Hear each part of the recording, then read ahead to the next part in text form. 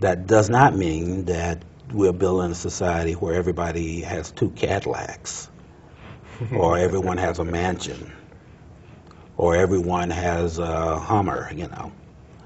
These issues have to be dealt with. The type of socialism that uh, we see in many parts of the world, you have to take in consideration resources that we have. Take, for instance, in China. If China, the Chinese, use paper like we use in this country, and within 10 years there would be no forests. So sustainability has to be a criteria in the world. Now, when we talk about world socialism, what does that mean, sustainability on a worldwide uh, scale? Well, we will determine that collectively. But for surely, it can't be wasteful. It has to take in, uh, uh, take consideration that we don't have an infinite amount of resources. We have to use technology in, a, in its proper way for all, not for just a few. And uh, this cannot be imposed. Everybody in the world will have to be politically one to it. Um, I want to just let people know, if in case they're just tuning in, um, um, I'm Eric Angel, and this is Our World in Depth, and I'm with uh, Harry McAllister and Michael Wood, uh, both members of the Communist Party. Um, both have been active in the Twin Cities and in Minnesota. Um, and as uh, members of the Communist Party. Uh, we're talking about um, some of the uh, uh, issues that are really confronting humanity, uh, class struggle, um, and I, I more recently tried to uh, talk a bit about um, environmental struggle. Uh, Michael, you mentioned Hugo Chavez. Uh, Yes. You brought up Hugo Chavez. Uh, is he a communist? Um, we're probably going to be hearing that in the media pretty soon if we haven't already. Is he a communist? Uh, that was Harry's question. Okay. We talked about this before, and Harry's going to deal with the question of Venezuela and Chavez. Okay. Okay. Uh, in a classical sense, uh, no, he would not be considered a, a communist. There is a communist party in uh, Venezuela, and there are other communist organizations. Uh, I think what you can call him is a socialist. Uh, what he is doing in his Bolivian uh, revolution there is that he's trying to use the oil wealth of the country for the benefit I, I have to interrupt. I think it's Bolivarian Revolution. Bolivarian. Yes. I stand corrected. All right. Well, what he's trying to do is use the oil wealth of the country to uh, basically take, take care of the basic needs of the vast majority of the population, which is poor. And that is 70, 75, even 80% of the population. And uh, he is also doing something which is uh, uh, rather unclassical Marxist.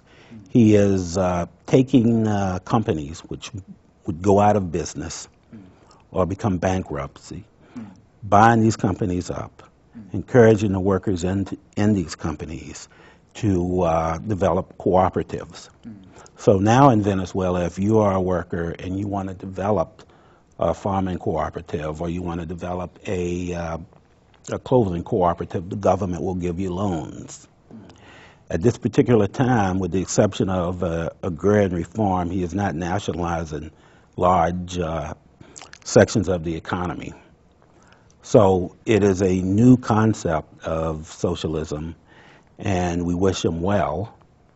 Um, he has did a lot of things which are positive for that 80% of the population in Venezuela, and he's actually did some very good things for Americans, like he's selling oil to um, uh, New England, to uh, the Bronx in New York at uh, cut rate prices so people can get through the winter without having uh, uh, their heat uh, cut off.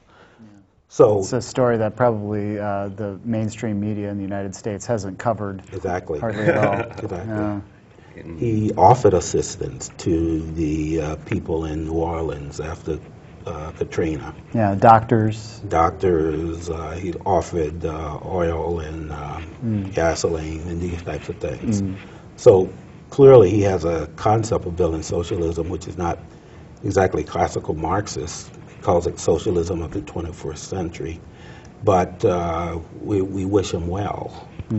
Not only the people in Venezuela, but the people in uh, all of Latin America, from Brazil to Bolivia to uh, Ecuador and Argentina, who have rejected the neoliberal model of uh, development because it's, it is so disruptive to those economies.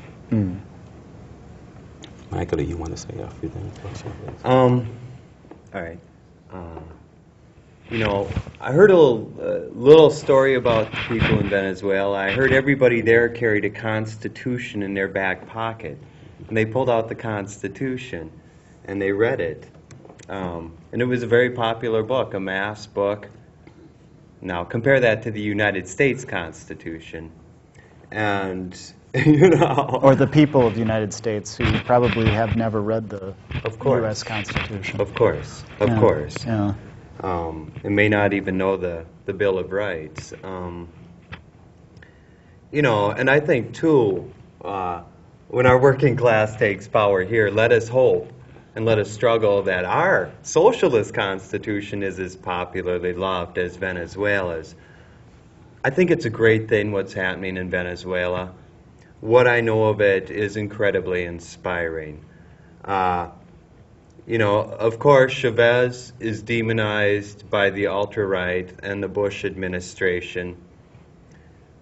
We share, I believe, the working class of this country, a common enemy. Uh, uh, we share with the Venezuelans a common enemy against the Bush administration. I see their progress is connected to ours. Um, long live Venezuela. Um, I wanted to try to touch on this kind of uh, reputation that communism uh, and democracy do not go together, that they're like oil and water, they don't mix.